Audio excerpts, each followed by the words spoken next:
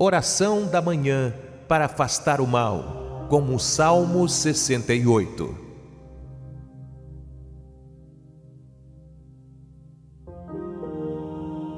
Levante-se, Deus, e sejam dissipados os seus inimigos.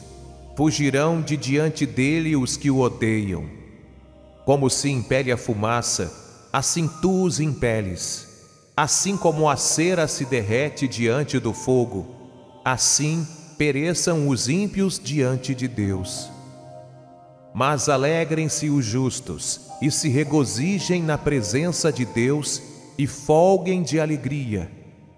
Cantai a Deus, cantai louvores ao seu nome. Louvai aquele que vai montado sobre os céus, pois o seu nome é Senhor e exultai diante dele. Pai de órfãos e juiz de viúvas é Deus, no seu lugar santo. Deus faz que o solitário viva em família, liberta aqueles que estão presos em grilhões, mas os rebeldes habitam em terra seca.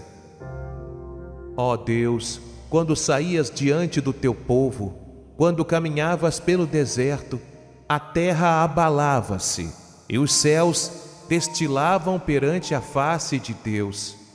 Até o próprio Sinai foi comovido na presença de Deus, do Deus de Israel. Tu, ó Deus, mandaste a chuva em abundância, confortaste a tua herança quando estava cansada. Nela habitava o teu rebanho. Tu, ó Deus, fizeste provisão da tua bondade para o pobre.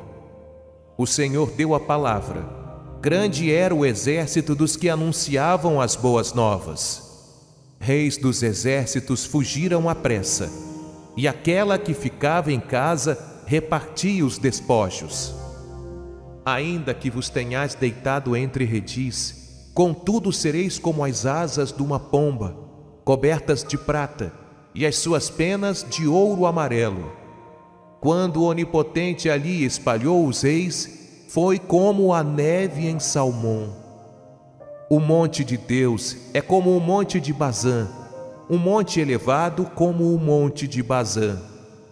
Por que saltais, ó montes elevados?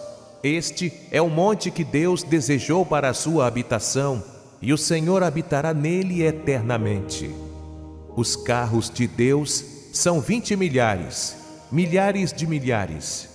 O Senhor está entre eles como em Sinai, no lugar santo. Tu subiste ao alto, levaste cativo o cativeiro, recebeste dons para os homens e até para os rebeldes, para que o Senhor Deus habitasse entre eles.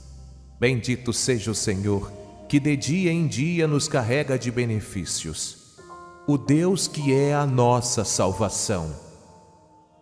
O nosso Deus é o Deus da salvação e a Deus, o Senhor, pertencem os livramentos da morte.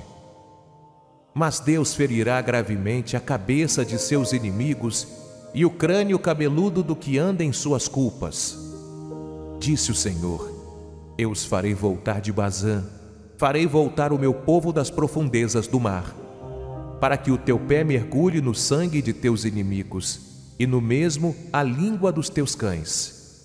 Ó Deus, eles têm visto os teus caminhos, os caminhos do meu Deus, meu Rei no santuário.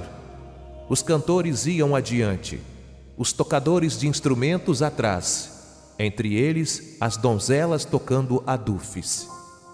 Celebrai a Deus nas congregações, ao Senhor desde a fonte de Israel.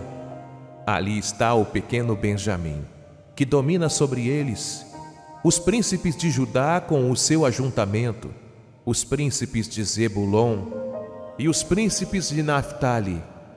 O teu Deus ordenou a tua força.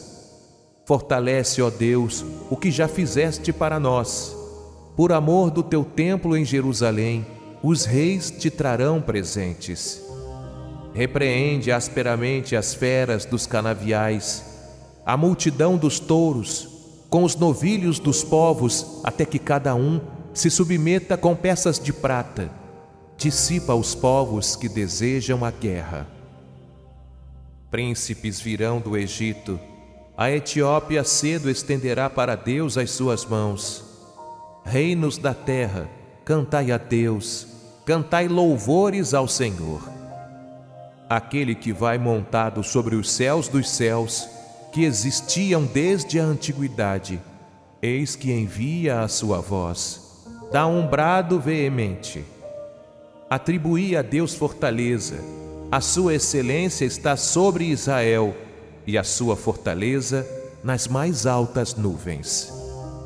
Ó Deus, tu és tremendo desde os teus santuários. O Deus de Israel é o que dá força e poder ao seu povo. Bendito seja Deus.